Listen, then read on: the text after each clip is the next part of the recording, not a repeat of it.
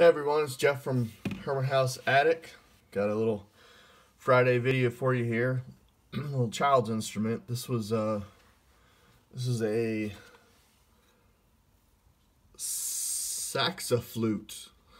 I think they're just making words up. But um Miss Herman was a kindergarten teacher. I have heard from people who had Miss Herman for a kindergarten teacher that she would bring them up here and to the house up here.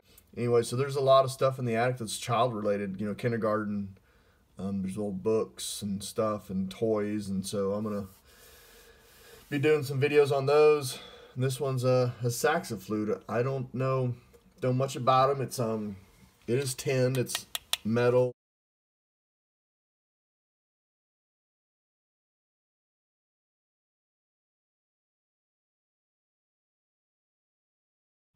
Has this wooden mouthpiece.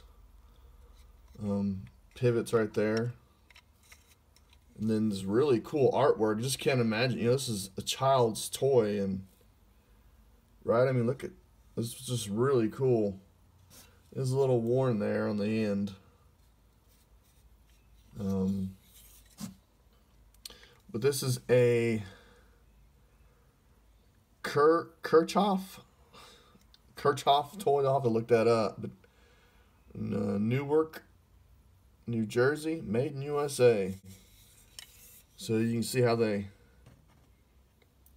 pressed it together and basically wrapped it around and then folded it back on itself. But it still works.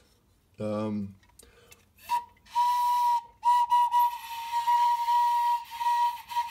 of course, I don't know how to play it, but I don't know if um, many of you out there had a recorder like I did in elementary school. We carried around, we so proud of them things, you know, and this is just a early version of one of those school recorders from elementary school, but uh, it's a beautiful, beautiful piece. It's in really good shape and does work.